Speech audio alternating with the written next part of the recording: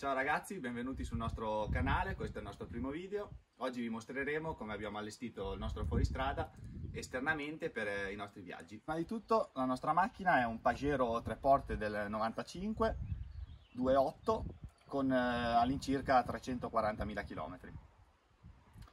Sul davanti abbiamo sostituito il paraurti originale con un paraurti ad uso gravoso della Steel Move, faretti fendinebbia abbastanza antiquati che saranno da sostituire.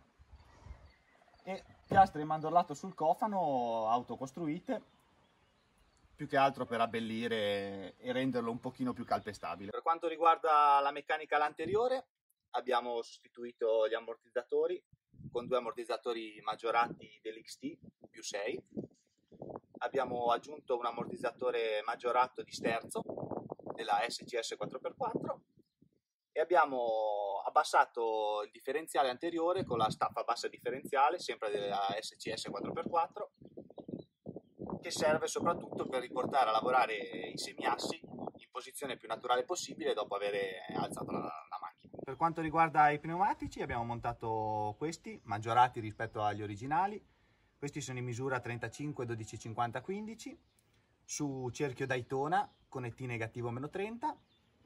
Poi troviamo il mozzo manuale che abbiamo montato per sostituire la flangia fissa originale Mitsubishi. In pratica serve per scollegare completamente la meccanica anteriore da, dalla ruota in modo tale che non giri niente quando noi percorriamo strade statali, autostrade e non abbiamo bisogno della trazione integrale. Passando poi al laterale troviamo il classico snorkel che è l'aspirazione del motore solo portata più in alto. Poi abbiamo i parafanghini che sono quelli originali Mitsubishi che avevano tutto il fascione collegato da davanti a dietro, noi li abbiamo semplicemente tagliati, utilizzati solo il passaruota e tappati i vari buchi con, uh, con dei livetti. Queste sono pedane artigianali che ho fatto io, sono in scatolato, sono fissate direttamente sul telaio della macchina invece che sotto la scocca, come quelle originali, perché comunque facendo fuori strada un, un pochino più di robustezza non guasta. Per quanto riguarda la meccanica posteriore, anche qui abbiamo montato degli ammortizzatori maggiorati più 6, sempre dell'XT, con relativa molla anche essa più 6 e per andare ad ospitare i pneumatici maggiorati abbiamo dovuto installare anche un body lift da 4 cm che si installa sui fuoristrada tra la scocca e il telaio in modo tale da spessorare la scocca alzandola lasciando più spazio per ospitare i pneumatici maggiorati. A posteriore troviamo sempre paraurti ad uso gravoso, sempre Steel Move, ruota di scorta e una scaletta in alluminio presa da un vecchio camper, recuperata da un vecchio camper che ci serve per salire sul tetto. Passando al tetto troviamo le tre barre portatutto, anche queste artigianali, perché di serie questo modello non montava le barre da tetto. Passando sopra troviamo il tendalino ARB laterale, di misura 2 metri per 2,10 o 2,20. Eh, abbiamo il portapacchi sempre recuperato dal solito camper della scaletta,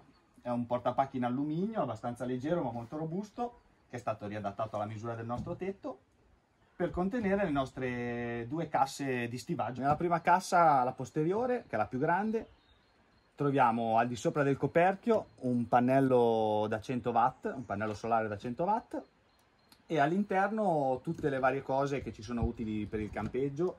Abbiamo un gazebo Decathlon, abbiamo le classiche sedie, il classico tavolo della Decathlon, bacinelle per lavare i piatti, amache, tendalini, una prolunga classica da camper dalla 220 con prese industriali e due taniche che sono praticamente lo scarico del nostro lavandino, che poi vedremo in seguito. Passando alla seconda cassa, questa la usiamo in parte come officina, troviamo diverse boccette dell'olio motore, idroguida, olio freni, abbiamo la seconda batteria servizi, cric, accessori vari, un'altra cassetta degli attrezzi, una cassetta di bussole. Qua abbiamo il caricabatterie, quello da collegare alla 220 tramite la prolunga che avete visto prima, con la presa che si trova dall'altra parte.